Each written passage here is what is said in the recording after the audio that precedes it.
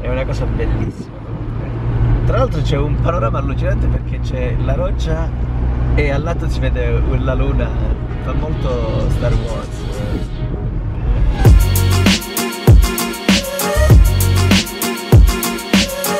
A 200 metri c'è la strada che va su, qua a destra.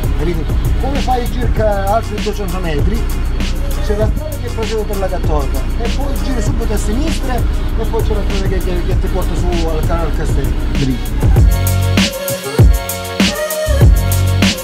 Ragazzuoli.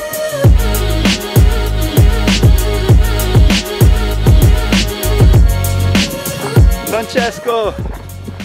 Ti devo presentare. Ciao! Vi presento mio amico Francesco, ma stiamo per andare a scalare e in questo momento non capisce più niente. Prima esperienza al Monte Consolino, non ci sono mai stato per arrampicare, sono venuto qualche volta a Bivongi per raccontare delle storie e sono venuto a Stilo per visitare la Cattolica come tutti, ma finalmente vengo qua anche per scalare.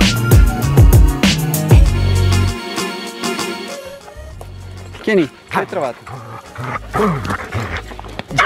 Già, ora, già iniziamo. Già iniziamo. Accesso alle vie ai settori. Vedi c'è una via che si chiama Il Guercio, C'è una, una via che si chiama Devo finirla. Ah, eccola qua. Noi siamo nel settore pilastrino. Che c'è Easy Way, la 1 è un 5A, Splat 5B, il Guercio 5C, Mani di Fatta 5C, Pipi Amaru 6A, Via la Burocrazia 6B, Manaia 6A. Eh, direi che è fattibile, no? Ma questo ce le facciamo tutti. La mia è ironia pura, di fatto non sono un bravo scalatore e i gradi di queste vie spingono le mie capacità al limite e anche forse un po' oltre. Nella scalata, beh, la sicurezza è una cosa importante, ma se non ci vai spesso, già solo ricordarti i nodi non è sempre la cosa più facile del mondo. Ma con un po' di calma, attenzione e soprattutto pazienza, tutto è superabile. Questa è una cosa sulla quale non puoi scherzare. Infatti Francesco è molto più bravo di me e dopo che lui la corda l'ha portata su alla catena con me che faccio sicurezza, ci posso provare anch'io da secondo con un rischio di farmi male molto più basso perché la corda è già attaccata, non c'è come cadere. Premesso che l'attrezzatura di sicurezza venga utilizzata correttamente e il tuo assicuratore sta attento, non sta facendo altro. Vai con calma, sei da due, non ti preoccupare, anche se cadi non succede niente. Se non la finisci non succede niente. Quindi sereno, Francesco, allora i primi giri come sono andati? da tragetto. Arrampicare dopo tanto tempo si sente la differenza.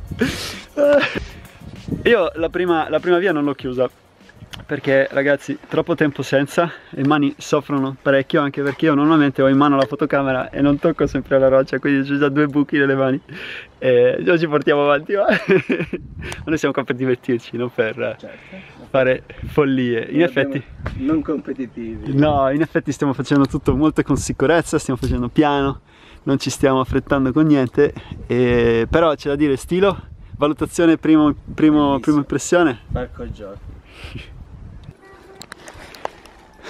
Nel secondo giro ho fatto il 6A che per me è tanto, purtroppo non sono riuscito ad arrivare alla catena, però ho ritirato i rinvii, sono felicissimo.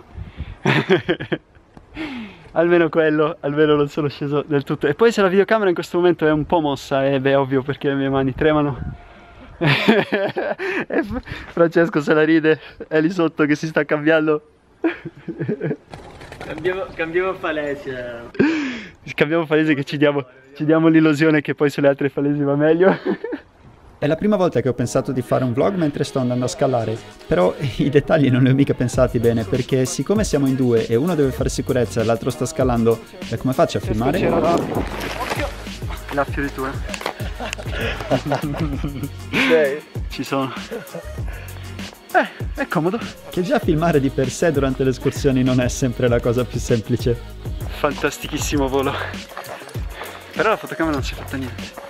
No, non è la prima volta che volo durante un'escursione con la fotocamera in mano. Comunque la zona di arrampicata del Monte Consolino è molto più bella di quanto me la immaginavo.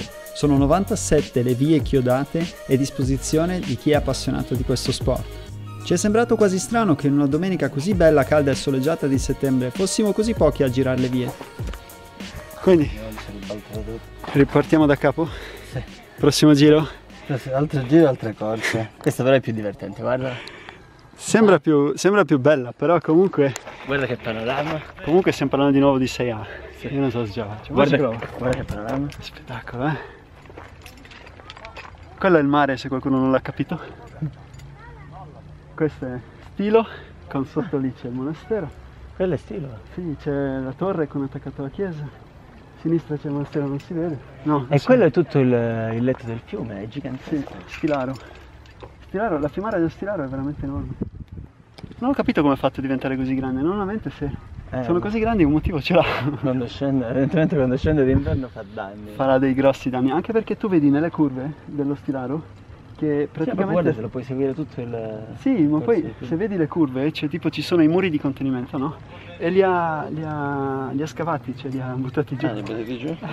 Quello ti fa capire che qualcosina di cattivo lo fa questa intenzione. Oh, arrampichiamo un po'. Posso? Nell'arrampicata funziona così, l'arrampicatore più esperto, quindi in questo caso Francesco, va per primo perché lui salendo piazza i rinvii. Questi rinvii servono poi per tenere la corda, che attraverso il contropeso della persona rimasta giù serve per tenere l'arrampicatore nel caso di un'eventuale caduta. Quando si sale però come cosiddetto primo, non è una garanzia assoluta, perché per qualsiasi distanza che si supera il punto del rinvio stesso, la caduta sarà libera fino al rinvio ed anche il pezzo sotto, finché la corda non arriva di nuovo in tensione.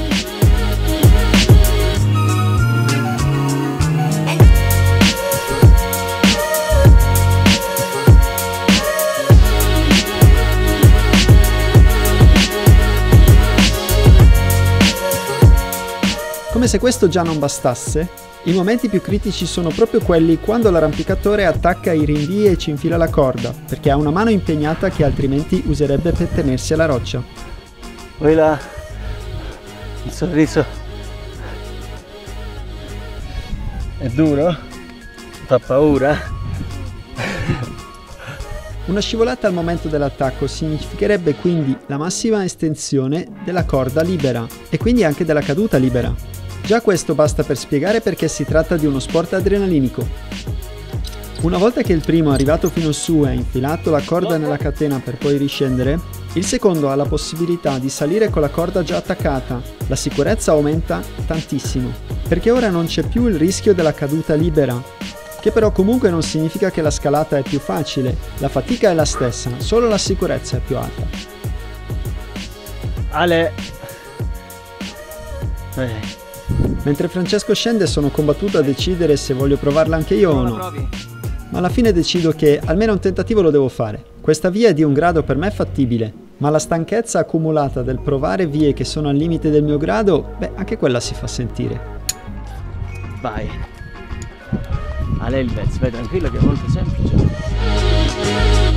Eccolo. Eh beh, vabbè, anche resistenza fisica. cioè, Io sono parecchio spappolato. Sono poco prima del... Cazzo, che, che faccio De- qua? Dovevo della- andare a pranzo. Della fine, della fine cerebrale. No, guarda, va bene così. È stato comunque veramente molto proficuo perché io, grazie a lui, oggi ho imparato due tecniche nuove che veramente hanno cambiato completamente la mia scalata. Benissimo, allora per oggi magari ci ritiriamo da qua, che dici? Direi che è il caso.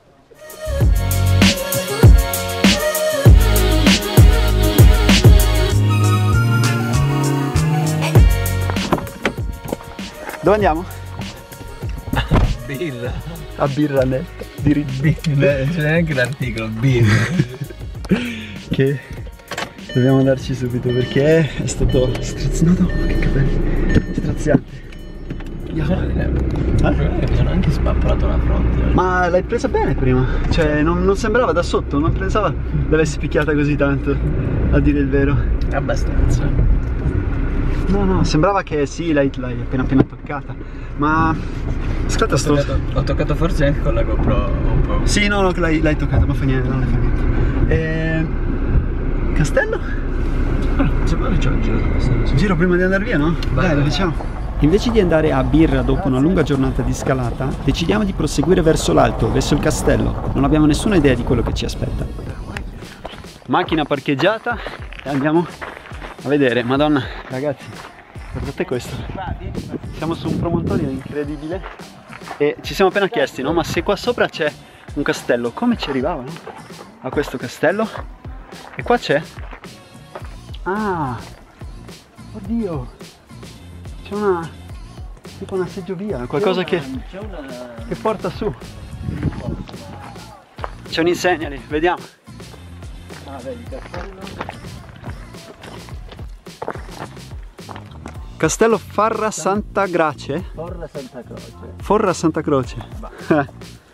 La salita è ripida, ma le viste si fanno sempre più belle ed è uscito anche un po' di sole che a quest'ora della sera non è neanche male per contrastare un po' quel freddolino.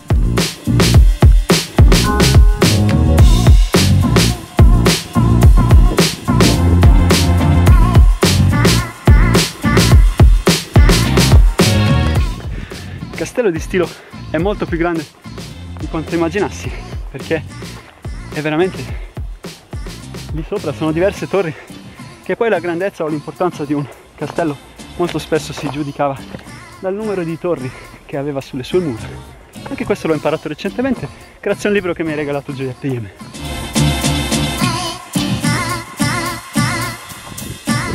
Qui è incredibile, è veramente a dir poco incredibile. Francesco giustamente in questo momento ha detto che non sarà un posto molto frequentato perché è veramente faticoso da raggiungere. E lo è, lo è davvero. Lui sta già andando su, eccolo lì. Mentre Francesco sale sulla collina di là, voglio vedere il castello e a mia grande sorpresa l'ho trovato aperto.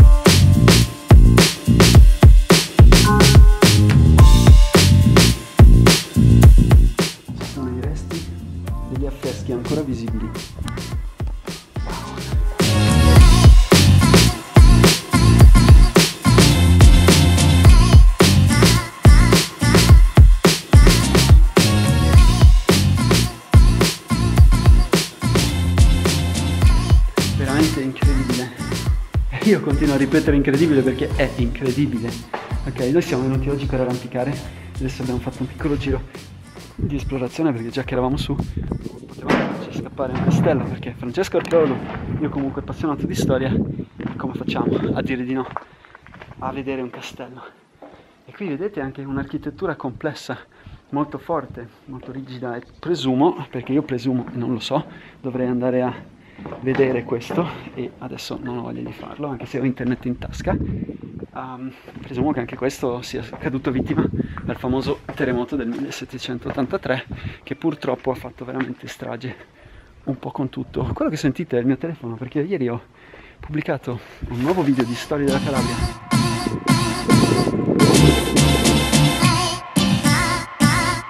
Ciao, ciao. Qua c'è veramente una visuale a 360 gradi. Guardate che roba. Cioè, ovvio che qui c'era anche una torre perché se io qua ci metto pure una torre vedo veramente tutto, la valle dello Stilaro, le montagne, vabbè lì ovviamente Monasterace, poi lì andiamo avanti, io non mi ricordo adesso i paesi sono stanco, ho scalato tutto il giorno. Sotto di me vediamo Bivongi, eccola lì Bivongi. Lì c'è il monastero dove sono stato, beh, tre mesi fa, un po' di tempo fa. Lì c'è l'altro santuario, sempre greco, grecanico. E c'è una visuale totale. C'è postazione difensiva veramente perfetta, perfetta.